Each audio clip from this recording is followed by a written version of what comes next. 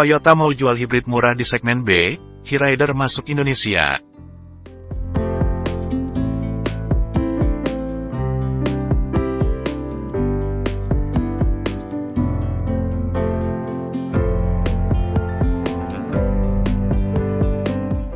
Hao Kuotien, Wakil Presiden Grup Bisnis Pembiayaan Penjualan Toyota Motor Corporation untuk Asia, pernah mengatakan bahwa perusahaan sedang mempersiapkan produk hibrid baru untuk mengisi segmen B. Menurutnya, langkah tersebut merupakan strategi untuk mendorong kiprah populasi kendaraan listrik di Indonesia.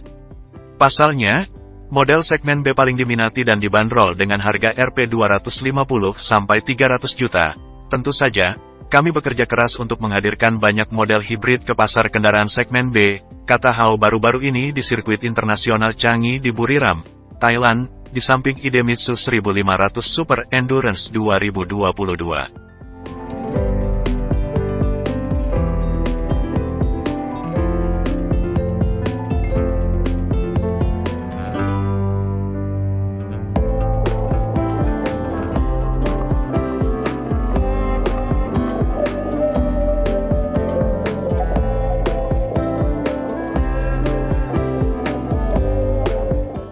Perlu diketahui bahwa segmen Toyota B di Indonesia meliputi model Veloz, Rise dan Rush. Kelas ini memiliki pasar yang cukup besar karena memiliki banderol harga yang kompetitif di kantong konsumen. Pernyataan Hao tersebut tentunya memicu spekulasi bahwa model baru yang datang ke Indonesia akan menjadi produk pertama yang dijual di India tahun lalu, yakni Toyota Urban Cruiser Hyryder. Model ini merupakan hasil kerjasama antara Toyota dan Maruti Suzuki India yang menawarkan dua pilihan mesin yakni mild hybrid dan full hybrid. SUV segmen B ini hadir dengan dua pilihan mesin, yakni K-Series Suzuki 1500 cm3 dengan sistem mild hybrid.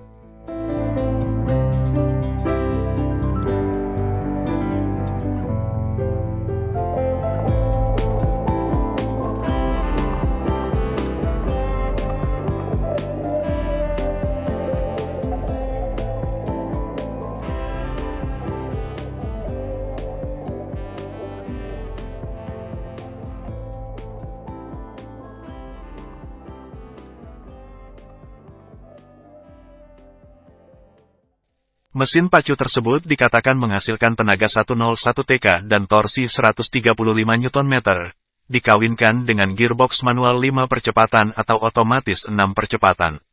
Yang kedua menggunakan teknologi hibrid Toyota, yakni mesin yang terdapat pada Yaris di Eropa dengan kubus hibrid 1500 cm3 yang mampu menghasilkan tenaga 114 TK dan torsi 141 Nm.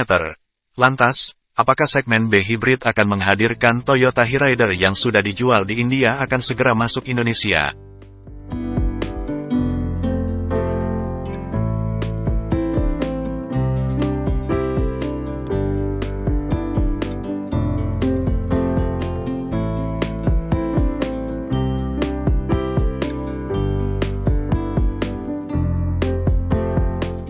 Direktur Pemasaran PT Toyota Astra Motor, TAM, Anton Jimmy Suwandi tak mau berkomentar banyak, menurut Kompas.com, dia masih membuka tutup infonya.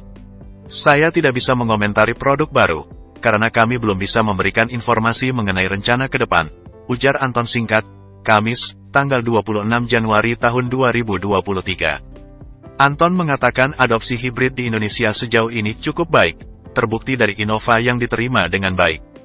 Penjualan Zenix di kalangan masyarakat Indonesia sekarang titik baliknya sampai April tahun 2024, karena baru diproduksi 3.000 sampai 4.000 unit atau persentase 40 banding 60 versi hibrid dan bensin.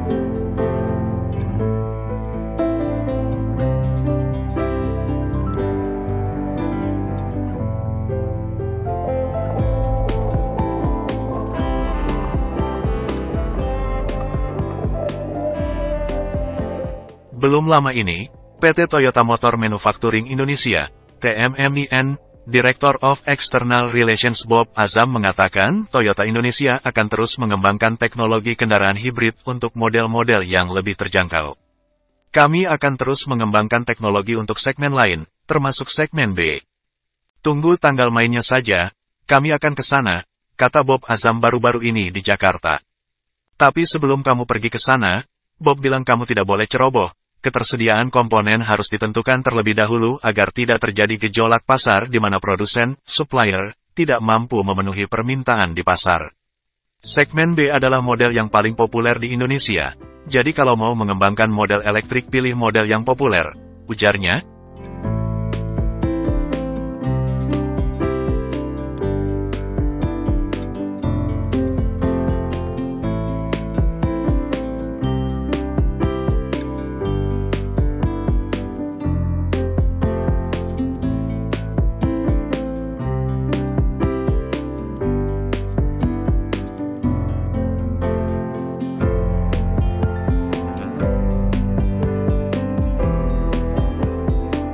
Sebagai informasi, Urban Cruiser Herder di pasar domestik India dibanderol mulai 1511 RS lah, atau sekitar 310 juta rupiah untuk trim terendah dan 1899 RS lah alias setara dengan 380 juta rupiah untuk tipe paling mahal.